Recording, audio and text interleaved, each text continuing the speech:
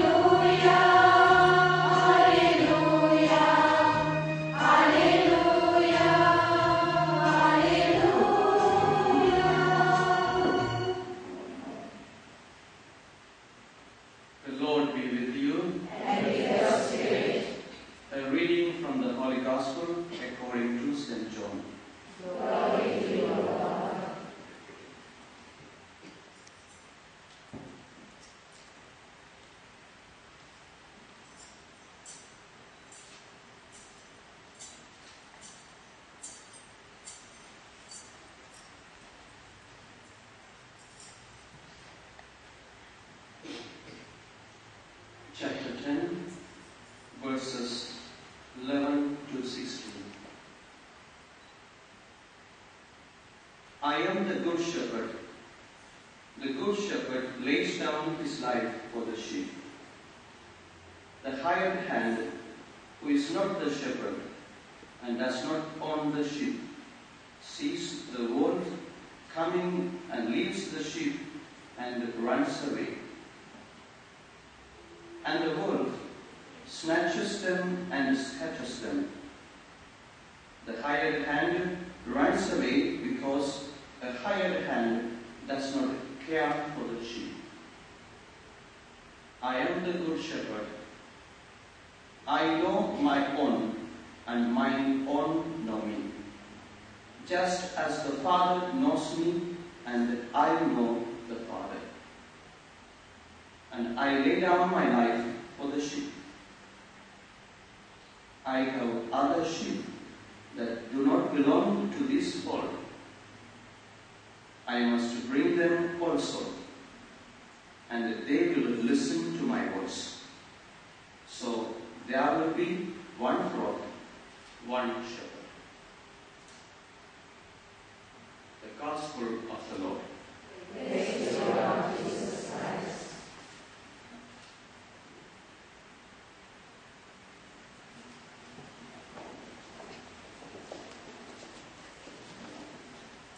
Dear brothers and sisters, we can thank Jesus for receiving us from many parts of the world. And in the name of the Pope, I would like to thank the sisters for your here during these 60 years. And we pray that you continue this nice service in this country, helping also, also the fathers to have many, many vocations, even in your congregation. I would like to meditate with you about the text we heard now from the Gospel.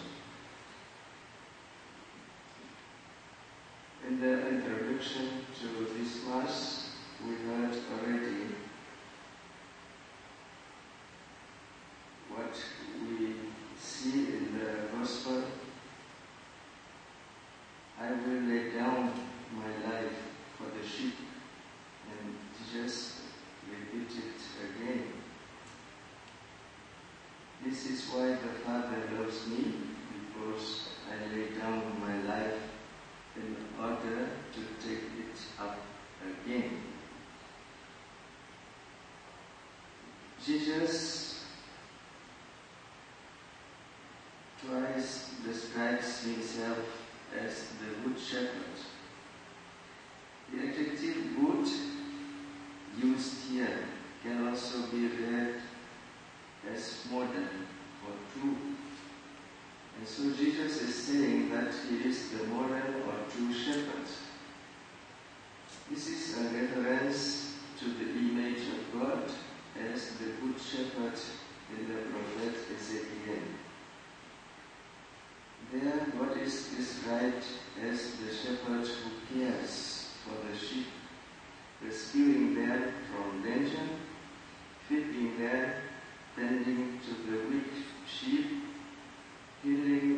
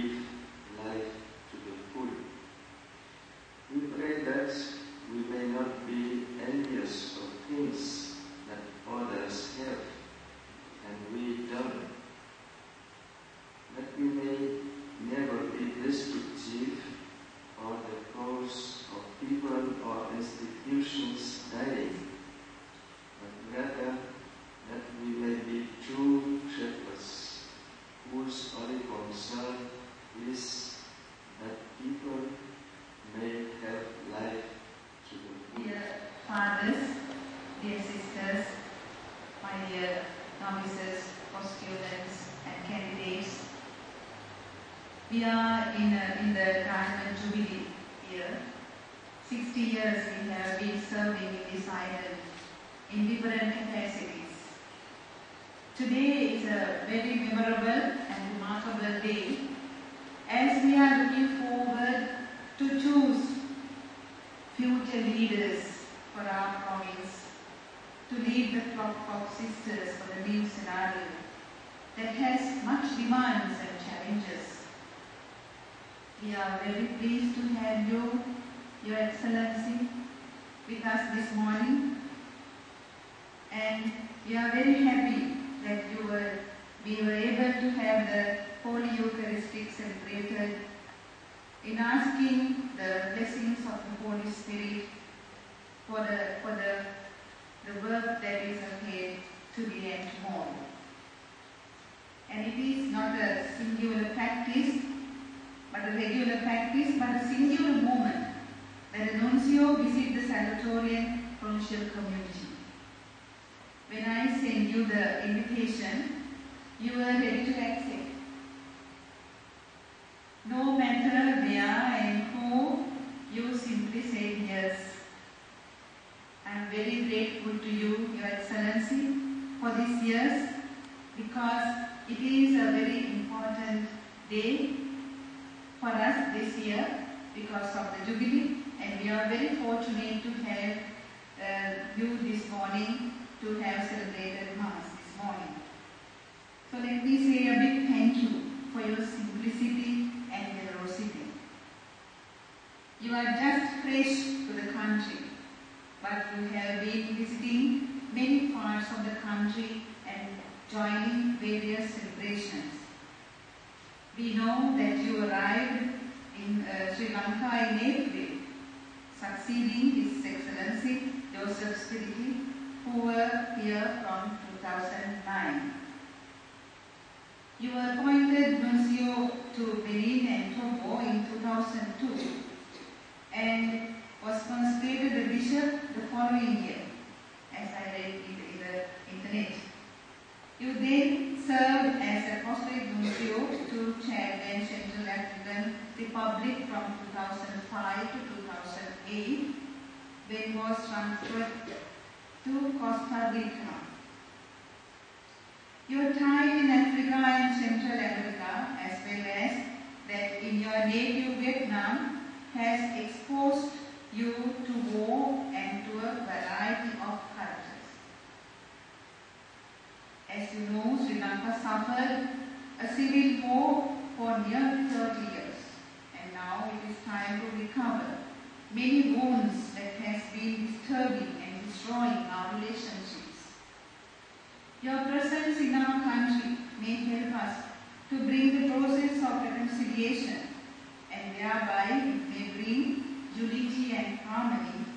Hence, we may be able to build up a golden era for our future generation. I also take this opportunity to say a very big thank you to our parish priest, Reverend Father Gerald, who is always ready to help us and to advise us whenever we are in need. I know today is a very heavy schedule for you, Father, because of the church feast of the Malpadwawa and uh, more than that, he is always busy with so many other uh, responsibilities because of the cathedral. I am very happy that you accepted our invitation today to be with us and to celebrate this Holy Mass. And Father Deepan, being a Salvatorian priest, you came all the way from Vietnam. It is not a short distance, you know. It is three days you have to spend. One day come, one day to celebrate Mass, and another day go. But taking your time off from your community activities and your other responsibilities, you are present today to form our Salvatorian family. Thank you very much, Father Deepan, for your presence. And Father Deepan, sorry, Father Tharanga, He is just built the new parish close by Mount Elizabeth, and uh, Gopal Bishop did not give him a proper place even to uh, have a mission house, but he is very clever in building up. So he has already built up his palace. So thank you very much, Father, having all your responsibilities aside, and you joined us this morning. Your Excellency, let me once again express my sincere gratitude and admiration for your presence with us. As Salvatorians, we are about to begin our process of the chapter. I am sure your blessing will bring us much fruits and help us to discern well to help our people who are in need of healing and love of the Savior, who went about doing good in empowering many suffering I wish you a very happy stay and you may enjoy the hospitality and friendship of our people in Sri Lanka. May the Divine Savior bless you all.